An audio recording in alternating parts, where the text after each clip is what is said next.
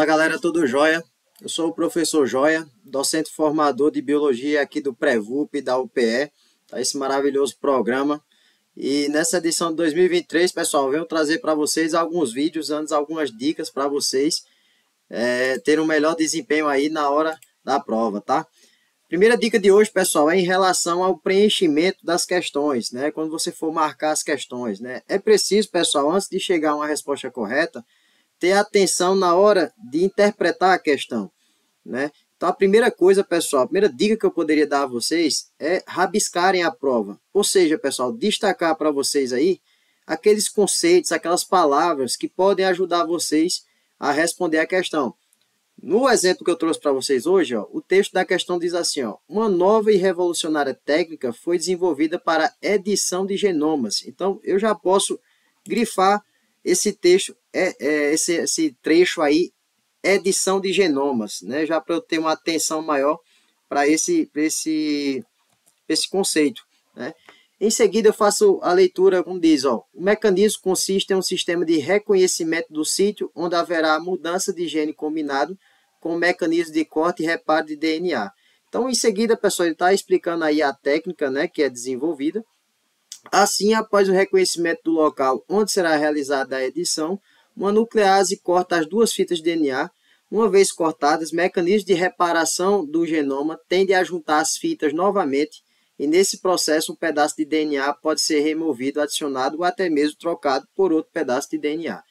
É, então, pessoal, a primeira dica que eu dei a vocês foi grifarem a, a prova, né, as questões. Então, risquem, pessoal, grifem, destaquem aqueles conceitos que vocês acham importante é, determinar uma atenção maior na hora de responder a questão.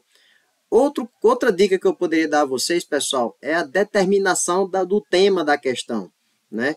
Então, nesse caso aqui, pessoal, você nota que o conteúdo da questão é o DNA, né? São os ácidos nucleicos, né? Um assunto que cai muito, né? Nas questões do Enem.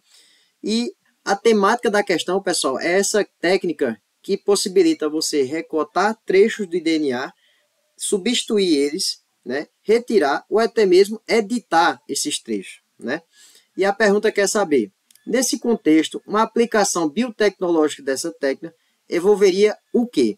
Então, pessoal, na letra A ele diz, ó, diagnóstico de doenças, letra B, identificação de proteínas, letra C, rearranjo de cromossomos, letra D, modificação de código genético e letra E, correção de distúrbios genéticos. É, Para fazer o diagnóstico de doença, pessoal, não seria necessário é, retirar né, a molécula. Né? Pela própria molécula DNA, a gente consegue fazer esse diagnóstico. Então, não seria necessária essa técnica para fazer o diagnóstico.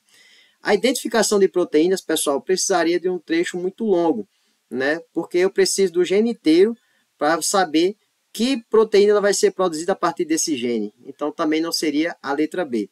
Para eu fazer o rearranjo de cromossomos que sugere aí a letra C, pessoal, eu teria que fazer uma edição completa, né, no cromossomo praticamente inteiro. E na letra D, diz assim, modificação do código genético, né? Então, o código genético é fixo, né, pessoal? Aquela interpretação dos nucleotídeos, né, para dizer qual trinca de nucleotídeos vai determinar o aminoácido, né? Esse código é fixo, né? Eu posso mudar com ele simplesmente recortando um trecho de DNA. Então, temos aí, pessoal, a resposta correta como sendo a letra E. Então, pessoal, fazendo uma revisão aqui das dicas de hoje, né? Grifem as provas, tá, pessoal? Grifem aqueles conceitos que são importantes na hora de responder a questão. Defina o conteúdo de biologia que trata a questão e defina a temática. Com essas três dicas, pessoal, vocês já vão ter uma boa ajuda aí na hora de responder as questões. Beleza? Um abraço, pessoal. Até a próxima.